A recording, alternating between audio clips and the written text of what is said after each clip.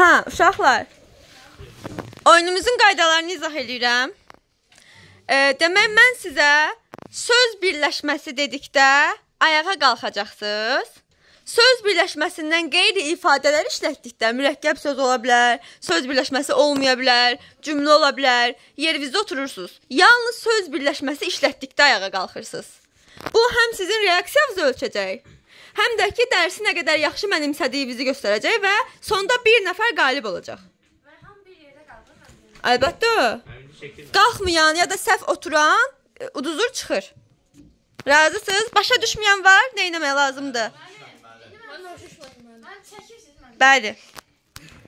Baxın uşaqlar, mən söz birləşmələri deyəcəm. Həmin söz məsəl üçün deyəcəm ki, kitabın üzü tutaq söz birləşməsində ayağa qalxmalısınız.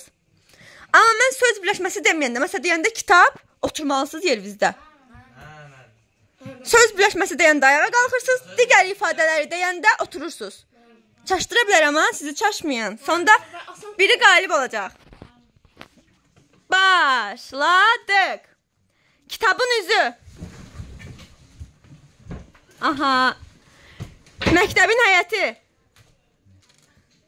Var dövlət. Yaşamaq eşqi. Rafael uduzdun. Sən keç arxaya müşahidə elə uşaqları. Aha. Məktəbin direktoru. Yaşamaq üçün. Fəqan. Könül. Gecə əyləşənlər keçir də. Cahcəlal. İlkin.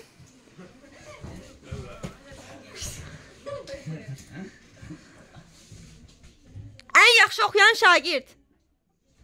Ah, bir dənə qalib olan. Hamınız uduzdunuz.